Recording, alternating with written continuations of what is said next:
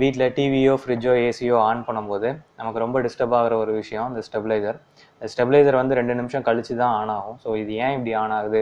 ரெண்டு நிமிஷம் கழிச்சு அப்படின்றத பற்றி தான் இன்றைக்கி இந்த வீடியோ இது ரொம்ப சிம்பிளான விஷயம்தான். ஆனால் இதை தெரிஞ்சுக்கிறதுக்கு என்ன பாடுபட்டேன் அப்படின்றது எனக்கு தான் தெரியும்.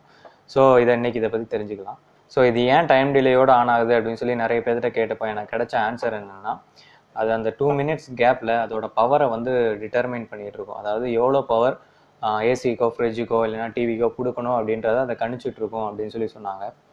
ஸோ எந்த ஒரு எக்யூப்மெண்ட்டுமே அதோட பவரை அதுதான் டிட்டர்மைன் பண்ணும். அதுதான் வந்து கணிக்கும். அந்த ஸ்டெபிலைசர் வந்து கணிக்க போகிறது கிடையாது. அது எனக்கு நல்லாவே தெரியும்.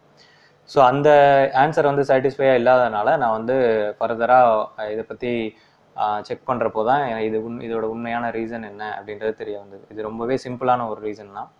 இப்போ உதாரணத்துக்கு இந்த ஸ்டெபிளைசரோட ஆப்ரேட்டிங் வோல்டேஜ் வந்து one fifty to one eighty two eighty voltage வரைக்கும் இருக்குது. So one one fifty volt minimum இருந்தால் தான் அந்த ஸ்டெபிளைசர் வந்து ஆன் ஆகும். அதே மாதிரி ஒன் ஃபிஃப்டி கீழே போச்சு அப்படின்னா அந்த ஸ்டெபிளைசர் வந்து ஆஃப் ஆயிரும். ஸோ இப்போ நமக்கு வோல்டேஜ் வேரியேஷன் இன்புட் சைடில் நமக்கு வோல்டேஜ் வேரியேஷன் இருக்கும்.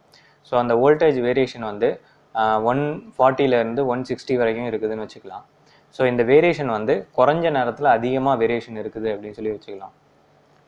ஸோ இப்படி அதிகமாக வேரியேஷன் இருக்கிறதுனால என்ன ஆகும்னா வோல்டேஜ் ஒன் ஃபிஃப்டி கீழே போகும்போது ஸ்டெபிலைசர் ஆஃப் ஆயிரும். ஒன் ஃபிஃப்டிக்கு மேலே வரும்போது ஸ்டெபிலைசர் ஆன் ஆகும். ஸோ இதே ஷார்ட் டைம் பீரியடில் அதிக டைம் ஆன் ஆகி ஆஃப் ஆகும்போது இந்த ஸ்டெபிலைசரோட அவுட்புட்டில் டைம் டிலே இல்லை அப்படின்னா அதோட அவுட்புட்டில் இருக்க எக்யூப்மெண்ட்டும் ஆன் ஆகி ஆஃப் ஆகும். ஸோ இதனால் வந்து பிசிபிஸ்லாம் பாதிக்கப்படுறதுக்கு சான்ஸ் இருக்குது ஸோ நான் ஒரு பல்பை நார்மலாக ப்ளக் பாயிண்டில் கனெக்ட் பண்ணியிருக்கேன். இப்போ நான் சுவிட்சை ஆன் பண்ணும்போது பல்ப் ஆன் ஆகும் சுவிட்ச் ஆஃப் பண்ணும்போது பல்ப் ஆஃப் ஆயிரும். ஸோ அதே மாதிரி இந்த ஸ்டெபிளைசரும் அவுட்புட் கொடுக்குதுன்னு சொல்லி வச்சுக்கலாம். அதுக்கு மீனிங் இதில் டைம் டிலே இல்லை அப்படின்னு சொல்லி வச்சுக்கோம் இப்போ நான் சொன்ன வோல்டேஜ் வேரியேஷனில் அதாவது one forty to one sixty voltage வேரியேஷனில் short டைமில் அதிகமாக வேரி ஆகுது அப்படின்றப்போ ஸ்டெபிளைசர் ஆன் ஆகி ஆஃப் ஆகும்போது ஸ்டெபிளைசரோட அவுட்புட்டும் ஆன் ஆகி தான் ஆஃப் ஆகும். ஸோ அதுக்கு மீனிங் இப்படி ஆன் ஆகி ஆன் ஆகி ஆஃப் ஆகும். ஸோ இது என்னால் கையால் பண்ண முடிஞ்ச ஸ்பீடு கம்மி தான் அதே ஷார்ட் டைம் பீரியடில் ரொம்ப ஃப்ரீக்வெண்ட்டாக நடக்கும்போது ரொம்ப ஃபாஸ்ட்டான ஒரு ஃப்ளக்சுவேஷன் இருக்கும். ஸோ அப்படி ஃப்ளக்சுவேட் ஆகும்போது எக்யூப்மெண்ட் வந்து பாதிக்கப்படுறதுக்கு சான்சஸ் இருக்குது ஸோ அதே பல்பை நான் இப்போ ஸ்டெபிளைசர் மூலமாக கனெக்ட் பண்ணியிருக்கேன். ஸோ நம்ம இப்போ ஆன் பண்ணலாம். இப்போ செக் பண்ணுறதுக்காக இன்ஸ்டன்ட் ஸ்டார்ட் கொடுக்குறேன். ஸோ ஸ்டார்ட் கொடுத்தோன்னா பல்ப் ஆன் ஆயிடுச்சு இப்போ அவுட்புட் வருது. ஸோ அதே ஃப்ளக்சுவேஷன் பவர் ஃப்ளக்சுவேஷன் ஸ்டெபிளைசர் த்ரூவாக வருதுன்னு வச்சுக்கலாம். இப்போ நான் சுவிட்சை ஆன் பண்ணி ஆன் பண்ணி ஆஃப் பண்ணுறேன் எனக்கு ஸ்டெபிளைசருக்கு வர்ற இன்புட் வந்து ஃப்ளக்சுவேட் ஆகுது. ஆனால் எனக்கு பல்புக்கு வந்து அவுட்புட் கிடைக்கல. ஸோ இதுதான் இந்த டைம் டிலே இந்த டைம் டிலே இருக்கிறதுனால இந்த ஃப்ளக்ஷுவேஷனை வந்து இது வந்து அவுட்புட்டுக்கு அனுப்பாது எக்யூப்மெண்ட்டுக்கு அனுப்பாது. அந்த டூ மினிட்ஸ் எடுத்துட்டு ஸோ அந்த டைம் கேப்புக்குள்ளே அந்த வோல்டேஜ் வந்து மேனேஜ் ஆயிரும். அதாவது அட்ஜஸ்ட் ஆயிரும். அப்படி அட்ஜஸ்ட் ஆகலை அப்படின்னா இன்னொரு டூ மினிட்ஸ் எடுத்து ஃபோர் மினிட்ஸ்க்குள்ளே வந்து நமக்கு அவுட்புட்டை கொடுக்கும்.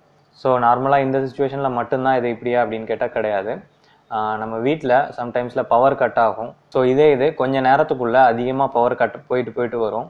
இது மழை நேரங்களில் வெதரில் ப்ராப்ளம் வரும்போது இந்த மாதிரி பவர் வந்து போயிட்டு போயிட்டு வரும். ஸோ இந்த சுச்சுவேஷன்லையும் இந்த டைம் டிலே வந்து ஸ்டெபிலைசர் அவுட்புட்டில் கனெக்ட் ஆகிருக்க எக்யூப்மெண்ட் எக்யூப்மெண்ட்டுக்கு ஒரு ப்ரொடெக்ஷன் கொடுக்குது. இதில் இருக்க இன்னொரு விஷயம் என்னென்னா இந்த இன்ஸ்டன்ட் ஸ்டார்ட் அதாவது இன்ஸ்டன்ட் ஸ்டார்ட்னு சொல்லி ஒரு பட்டன் கொடுத்துருப்பாங்க.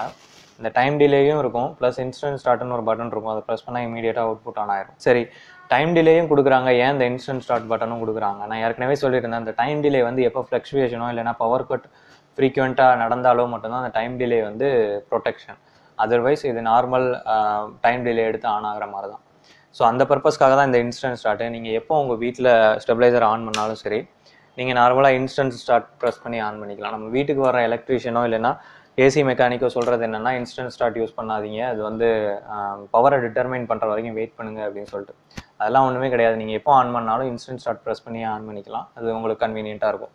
ஸோ உங்களுக்கு எதனா டவுட் இருந்ததுன்னா கமெண்ட் பண்ணுங்கள் அந்த வீடியோ பிடிச்சிருந்ததுன்னா லைக் பண்ணுங்கள் ஷேர் பண்ணுங்கள் இன்ஜினியரிங் ஃபேக்ட் சேனலுக்கு சப்ஸ்கிரைப் பண்ணுங்கள் தேங்க்ஸ்